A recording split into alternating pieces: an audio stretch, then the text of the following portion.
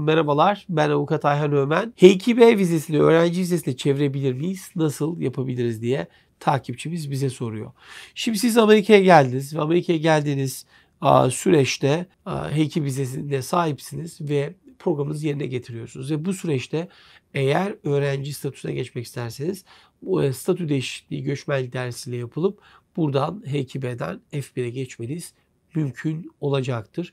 Aa, yok Amerikan konsolosluğu üzerinden alacaksanız vizenizi o zaman H2B programınızı başarılı tamamladıktan sonra ve Türkiye'ye döndükten sonra Amerikan konsolosluğu üzerinden F1 öğrenci vizesine başvuru yapmanız gerekecektir deyip takipçimizin sorusunu cevaplamış olalım.